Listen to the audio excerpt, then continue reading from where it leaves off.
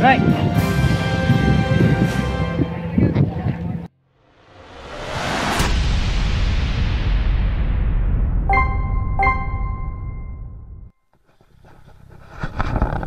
Alright guys.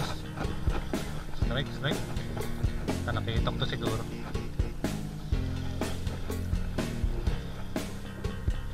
Kaya to. Ah!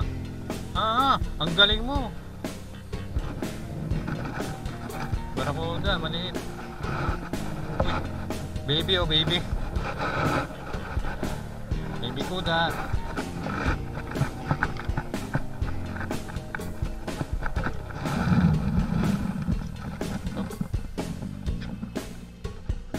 Morning po. First strike po natin, no? Barakuda. Baby pa lang. Pero okay na to. Mga fans, oh.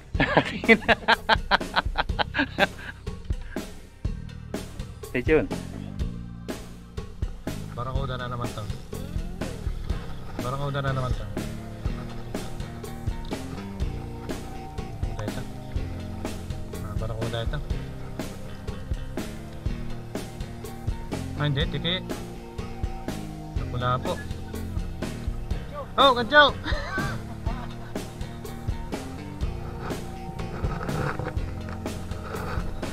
Wag. Kaya na.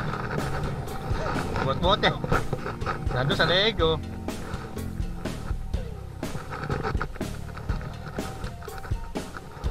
Ah.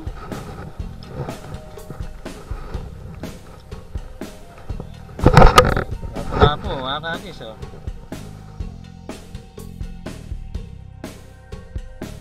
Ah, eh. Sinakal. Nasakal siya oh. Strike number 2. Lapo-lapo. Thank Lord. Oh, ito po. Shoutout, Jigbert. Abang na lang ako ng gaganto. Nag-aabang ng gancho. Ano mga kagis, oh. maya maya, pahinga rin ako eh. Strike na naman. Ah, mga kagis, nandito naman po tayo. Ito po yung mga angler. Layo pa eh.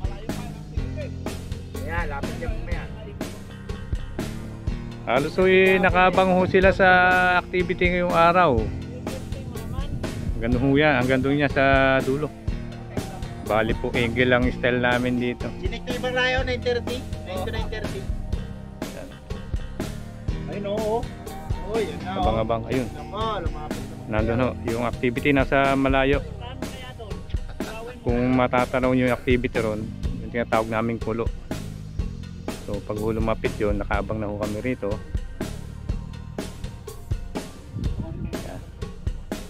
Nandito Okay ka, lang. Ganda ng content. Ayan na, si Budoy. Ano eh? Undoy. Ganda sa ng content kahapon. Nasa mga kahagi, sinihintay namin yung lapit ng ibong yun. Ang tinatawag naming kulo. Pero ngayon medyo malayo pa. Sa Mga distance 30 namin. minutes pa, traffic kasi. 30 minutes pero traffic pa. Si Angler Jer. Angler Picabo, nandun po siya. Yo yo, yep yep.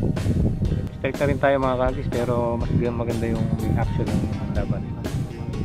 So, hintay-hintay tayo.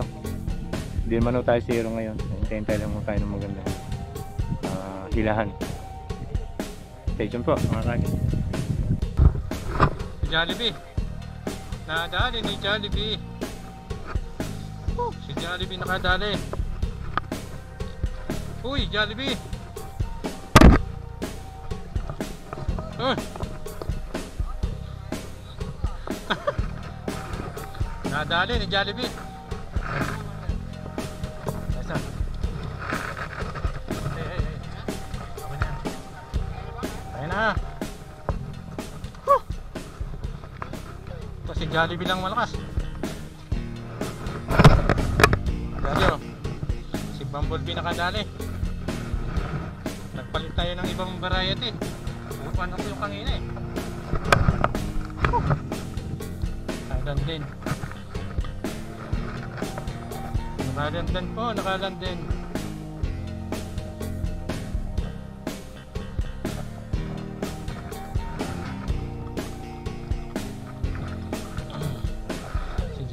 Masyadong hindi nakadaan eh.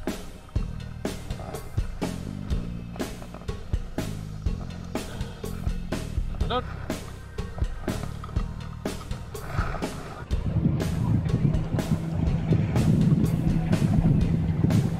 Right!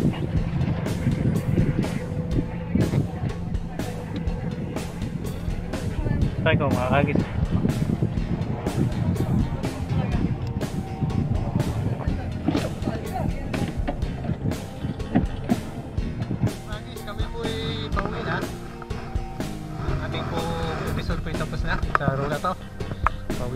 Kagis mga kagis. Ah. Kagis, uwi na. Ito po, time check po is ah, 11.20 na po. So, ito po yung mga nauli natin. Pakita ko po sa bahay. Mga strike natin kasi marolobat ang po itong ating uh, kanta.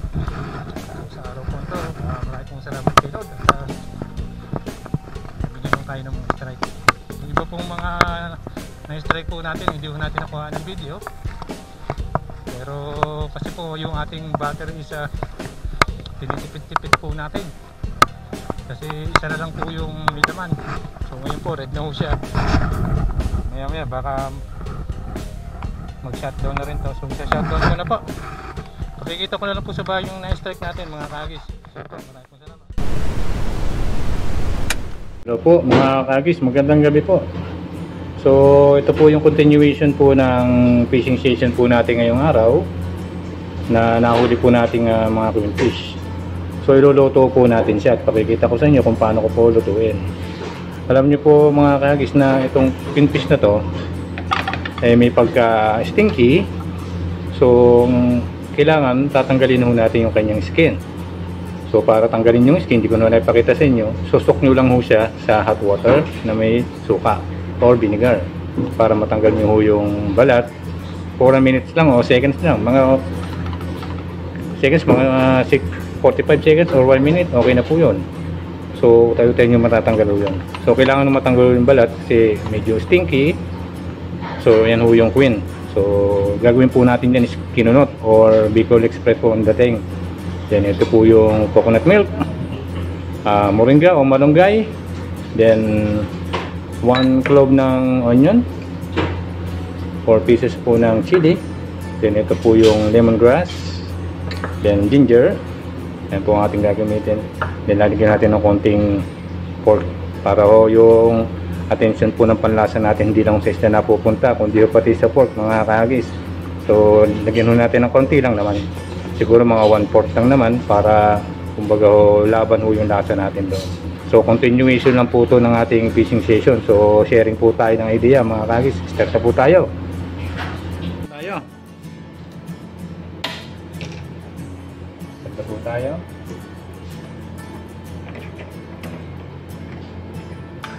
Una po nating lagyan, cooking oil.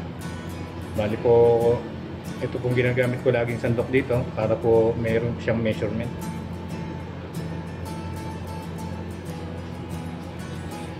Okay. Spread lang natin ng mantika. Or cooking oil.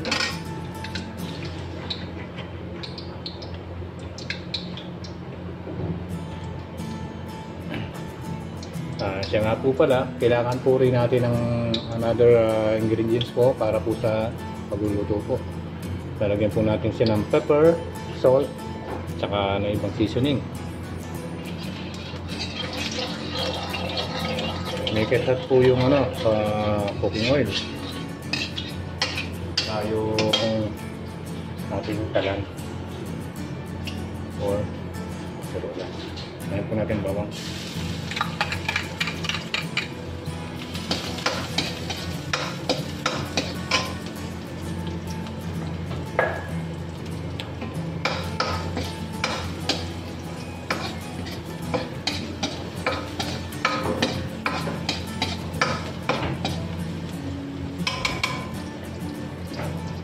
Medyo golden brown na po yung garlic, ihulog po natin mamaya-maya ang onion.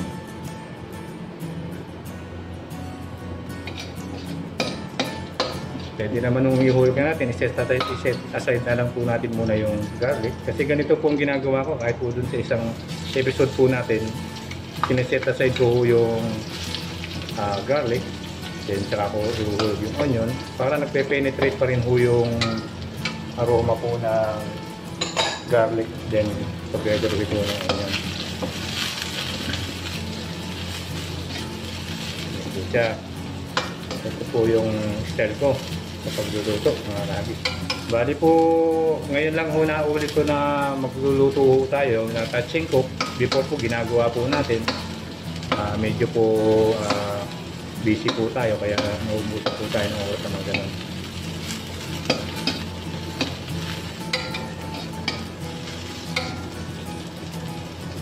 At saka kaya ho natin pala lalagyan po pala natin yan ng coating pork.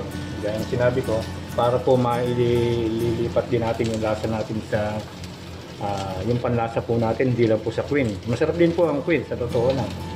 Pero kung nalagyan naman natin ng pork mas masarap naman po. Kumbaga konti lang naman po. Mga 1 fourth lang. 1 fourth lang po ng pork. Para po meron pong medyo ah medyo may tangible yung ano natin. Kumbaga may tunay po ba? Yung ating pag ayan.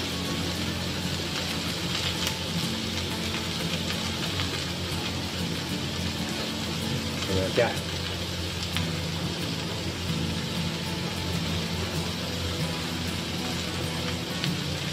so bali po kaya po gabi na ang check po dito sa Dubai sa quarter to 8 mga kahagis. So kaya po gabi ko ginawa gawa na nagpahinga pa po tayo. 11 o'clock na po tayo naka uwi kami na. So nagpahinga pa po tayo. Then yun nga po ah tinanggalan po natin ng skin yung fish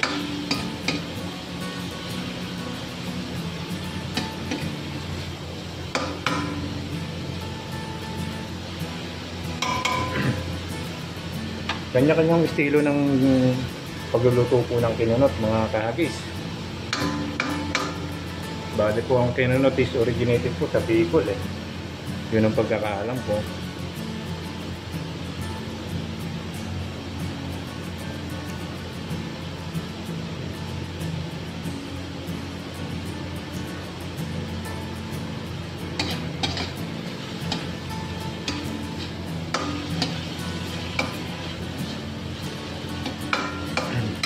So stay tuned po mga kagis at mamaya maya po pag naluto na ipapakita ko po sa inyo yung ating uh, finish product po na pinunot na lapis a little pong twist ng pork. Sige po, stay tuned po.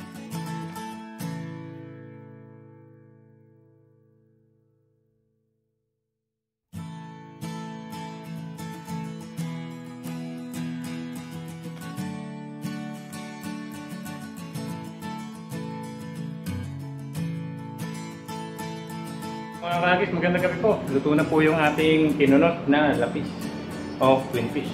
Ayan na po siya. So, bali po ngayon, gagawin ko naman po, bibigyan ko po yung kapatid ko ng ulam. Mag-deliver po ako. Stay tuned po. Ito po yung pamangking ko, si JD. Bali, dadalan ko po sila ng ulam. Dede! Oh, kaway kaway. oh, yung ulam ha. Ah, Tanong mo sa nanay mo yung ano, yung ibang lagayan na nandun. Kasi yan biyakin niya, hiniram ko lang. Yung iba doon para oh, para pagka nagdalaw ako, may may lalagyan ako ha. Kunin ko yan bukas. bukas. Ah, bukas ha. Ah, okay. Oh, sige. Ah, si Jendy po. Sige po mga kakis.